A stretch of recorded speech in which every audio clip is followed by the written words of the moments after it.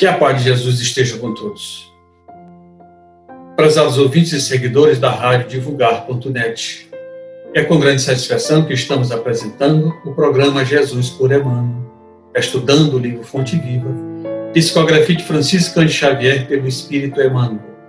Hoje vamos estudar o capítulo 144 com o tema Ajudemos a Vida Mental. Quem vai conduzir o nosso estudo de hoje é a nossa companheira Cássia Mello. Bom estudo e boas reflexões para você, Cássia. Olá, queridos ouvintes do programa Jesus por Emmanuel. É para nós uma alegria estarmos aqui novamente. Hoje nós vamos refletir no capítulo 144 da obra Fonte Viva, na qual o tema é Ajudemos a Vida Mental. Nós vamos fazer algumas leituras do texto e vamos fazer também logo em seguida algumas reflexões. Espero que vocês estejam todos bem, estejam tranquilos, tranquilos e vamos nos encaminhar para as nossas atividades de hoje. Ajudemos a vida mental. E seguia-o uma grande multidão da Galileia, de Decápolis, de Jerusalém, da Judéia e de além do Jordão. Mateus capítulo 4, versículo 25. A multidão continua seguindo Jesus na ânsia de encontrá-lo, mobilizando todos os recursos ao seu alcance. Procede de todos os lugares, sequiosa de conforto e revelação. Inútil a interferência de quanto se interpõe entre ela e o Senhor, porque, de século a século, a busca e a esperança se intensificam. Logo aqui no começo, o benfeitor Emmanuel, ele nos dá o tom do que seria a mensagem. Ele está falando justamente daqueles corações que se encontram à margem, que se encontram à beira, é, de levarem um pouco mais a sério de partirem em definitivo rumo ao seu progresso espiritual.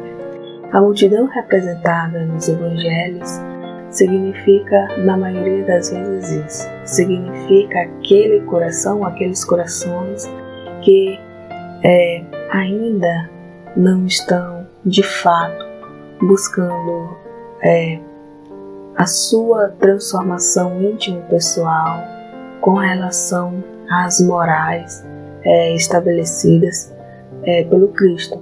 O Cristo que é o nosso maior exemplo é, aquele coração que passou pela terra, que melhor nos exemplificou é, uma conduta digna, uma conduta moral, é santa, para que nós é, seguíssemos ou caminhássemos e observássemos o que ele fez, o que ele disse, para que a gente tenha aí uma referência, uma uma inspiração mais profunda acerca daquilo que seria o melhor para cada coração encarnado, já que o nosso objetivo aqui não é outro além de buscar esse autoaprimoramento, essa, esse aperfeiçoamento espiritual.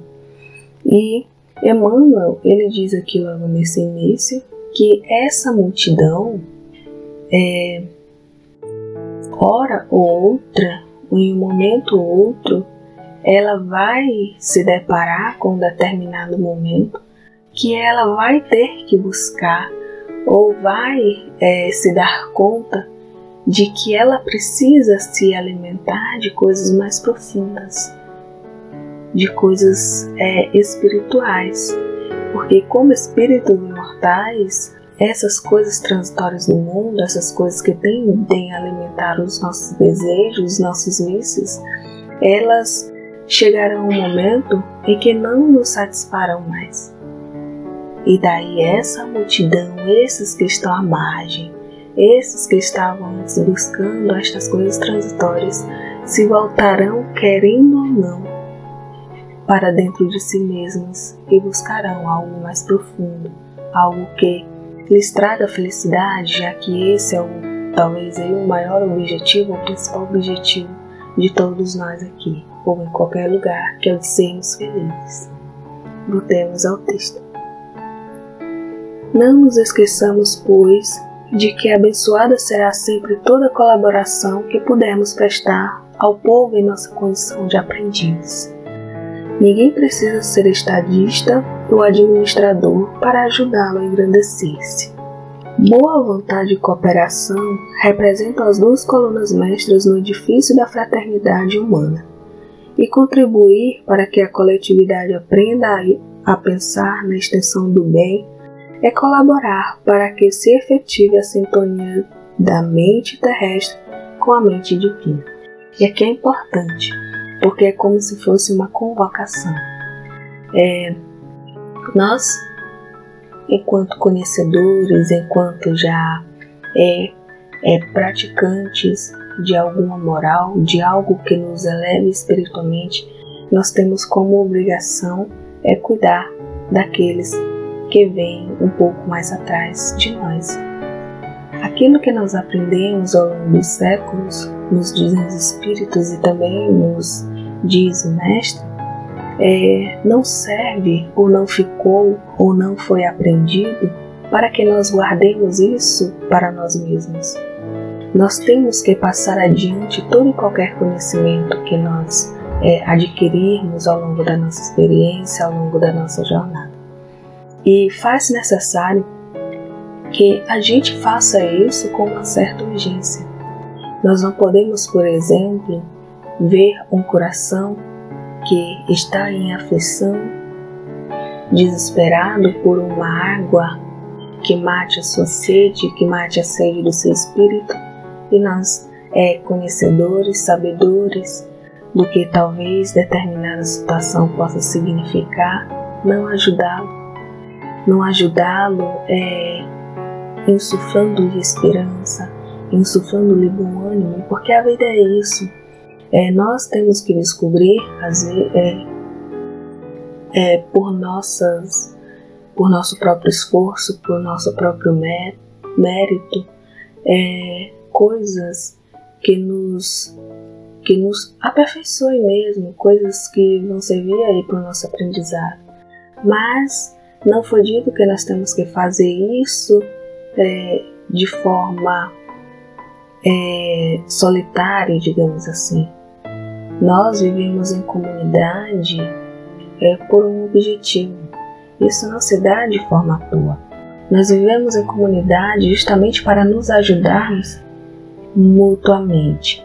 Nós temos que passar adiante aquilo que nós já conseguimos compreender nada do que nos foi revelado é, tende permanecer debaixo dos nossos braços, por exemplo. Nos diz o Evangelho que nós não podemos esconder a luz debaixo da mesa, a luz que nós já conseguimos adquirir debaixo da mesa. Nós temos que estendê-la, nós temos que pô-la no lugar mais alto da casa para que a casa possa ser iluminada.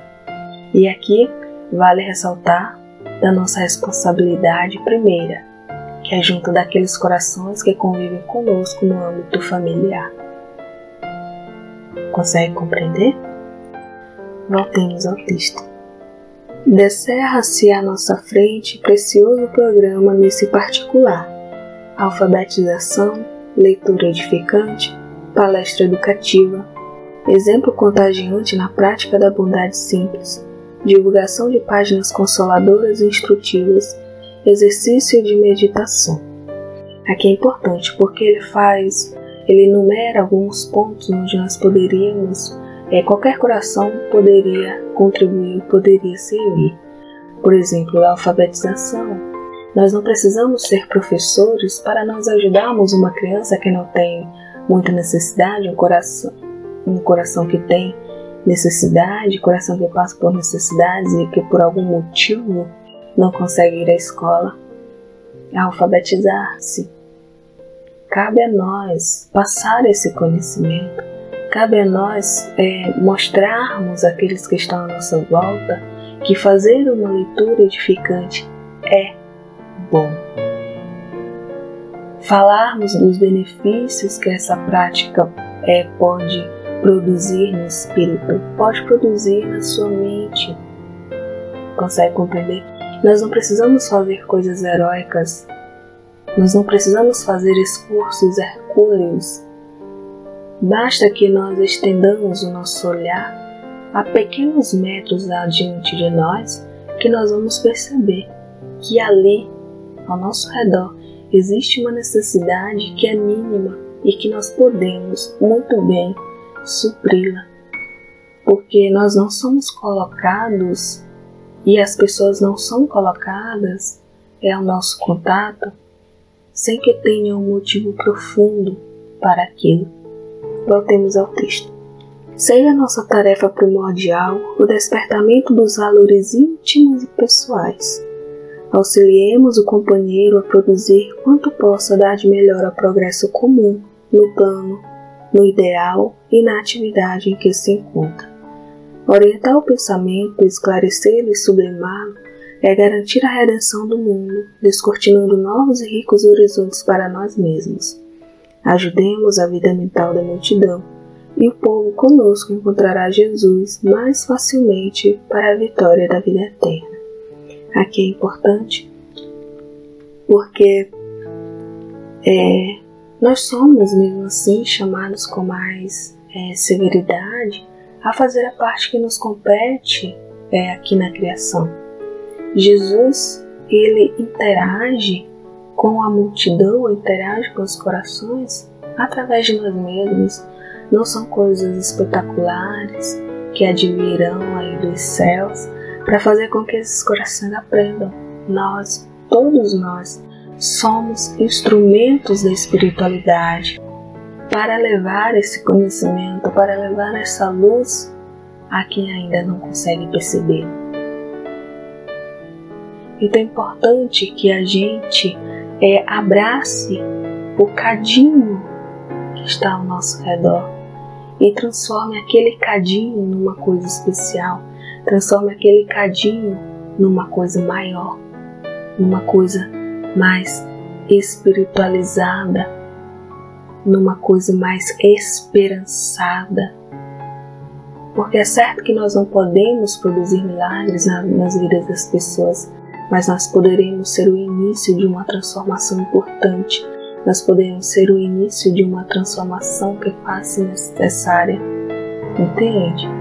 Se cada um de nós, no nosso âmbito familiar mesmo, fizermos um pouquinho, logo, logo, os corações experimentarão também do refrigério que experimentam aqueles que já conhecem, que se deliciam com a presença do Mestre. Porque o Mestre nunca se foi, o Mestre nunca escolheu corações para ser amigo, ele é amigo de todos. Mas tem uma coisa que é imprescindível: essa percepção, esse sentir cabe ou diz respeito a cada um. Nós temos que buscar, nós temos que tentar sentir que a vida é feita de práticas. As teorias servem para nos auxiliar nas práticas. Então, meus amigos, façamos a parte que nos compete. Vamos levar aí, com todo o nosso coração, com todo o nosso amor, os ensinamentos e, é, acima de tudo, a alegria que nós sentimos por servir Mestre tão amado, Mestre tão querido, tão carinhoso e tão amoroso. Paz, bem, doçura e alegria para as nossas vidas. Que Deus nos abençoe.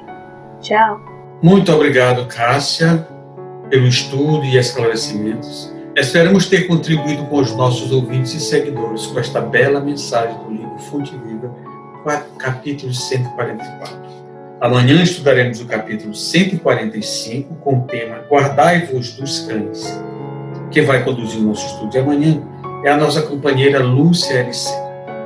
Acesse o nosso site www.divulgar.net e conheça toda a nossa programação, assim como as nossas redes sociais, Instagram, Facebook e o nosso canal no YouTube.